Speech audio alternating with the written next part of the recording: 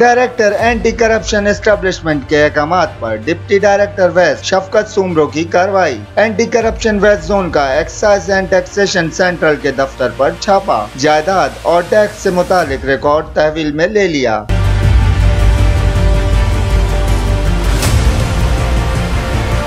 कार्रवाई assistant director Nooruddin, inspector Kamran Memon, inspector Imtiaz Channa, inspector Zaman एमान और team के हमरा अमल में लाई गई। एंटी करप्शन एस्टेब्लिशमेंट को गैर कानूनी पोर्शन और फ्लैट की जालसाजी के ज़रिए कागजात बनाने की शिकायत मौसू हुई थी, जिससे कौमी खजाने को करोड़ों रुपए का नुकसान पहुँचाया जा रहा था।